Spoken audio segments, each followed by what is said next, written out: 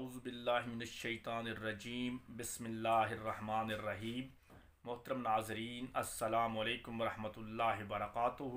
دوستو، میں ہوں سید محمد جمیل شاہ بخاری اور آپ دیکھ رہے ہیں بخاری ٹیچر یوٹیوب چینل۔ دوستو، آج کی اس ویڈیو میں میں آپ کے ساتھ ایک انتہائی خوبصورت واقعہ شیئر کرنے جا رہا ہوں۔ لہٰذا اس واقعے کو آپ آخر تک ضرور سماعت کیجیے گا کہ یہ واقعہ سیدنا امام جعفر صادق رضی اللہ تعالی عنہ اور سیدنا امام اعظم ابو حنیفہ رحمۃ اللہ تعالی علیہ کے درمیان جو ہے انتہائی اہم گفتگو ہے اور انتہائی خوبصورت اور چھوٹا سا واقعہ ہے، لہذا اسے آپ آخر تک ضرور سماعت کیجیے۔ دوستو، ایک دن سیدنا امام جعفر صادق رضی اللہ تعالی عنہ اور سیدنا امام اعظم ابو حنیفہ رحمۃ اللہ تعالی علیہ اکٹھے تشریف فرما تھے۔ تو سیدنا امام جعفر صادق رضی اللہ تعالی عنہ نے ارشاد فرمایا حضرت امام اعظم کو مخاطب کر کے آپ نے ارشاد فرمایا کہ کیا آپ فتویٰ دیتے ہیں اس بارے میں کہ ایک شخص جس نے حج کے احرام باندھ دیا حج کا احرام باندھ لیا اور احرام باندھنے کی حالت میں اس نے ہرن کے وہ دو دانت توڑ دیے جن کو ربائی کہا جاتا ہے۔ تو آپ اس بارے میں کیا فتویٰ دیتے ہیں؟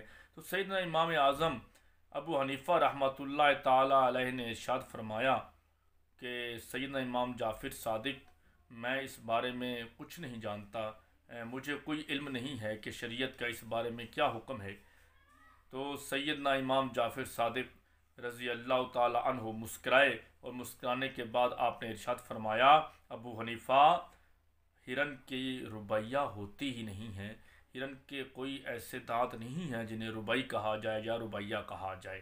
اس کے بعد سیدنا امام جعفر صادق نے ایک اور سوال جو ہے وہ سیدنا امام اعظم ابو حنیفہ سے کیا کہ ابو حنیفہ یہ بتاؤ عقل مند کون ہے؟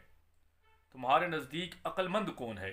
تو حضرت امام جعفر صادق رضی اللہ تعالی عنہ کے اس سوال پر امام اعظم نے فوراً جواب دیا کہ حضرت یہ تو بڑا آسان سا سوال ہے کہ عقل مند وہی ہے کہ جو برائی میں، جو بھلائی میں تمیز کر سکے۔ جو اچھائی اور برائی کی پہچان کر سکے۔ وہ عقل مند شخص ہے، جسے اپنے اچھے کا اور اپنے برے کا پتہ ہو جائے۔ وہ عقل مند شخص ہے۔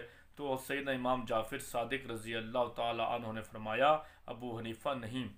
یہ خصوصیت جو تم نے بتائی ہے کہ اچھائی اور برائی میں پہچان کر سکے، یہ تو جانوروں میں بھی پائی جاتی ہے۔ جانور بھی اس بات کی پہچان رکھتا ہے کہ ایک شخص اس سے پیار کرتا ہے تو جانور اس کو کبھی نقصان نہیں پہنچاتا، وہ بھی اس سے پیار کرتا ہے۔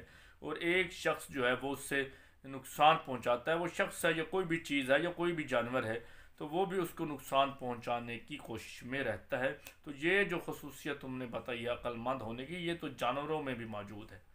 تو سیدنا امام اعظم ابو حنیفہ رحمۃ اللہ تعالی علیہ نے اپنے عجز کا اظہار کیا اور واضح طور پہ فرمایا کہ سیدنا امام جعفر صادق میرے پاس تو اتنا ہی علم تھا، مجھے اتنا ہی پتہ تھا۔ آپ بتا دیں کہ عقل مند کس سے کہتے ہیں؟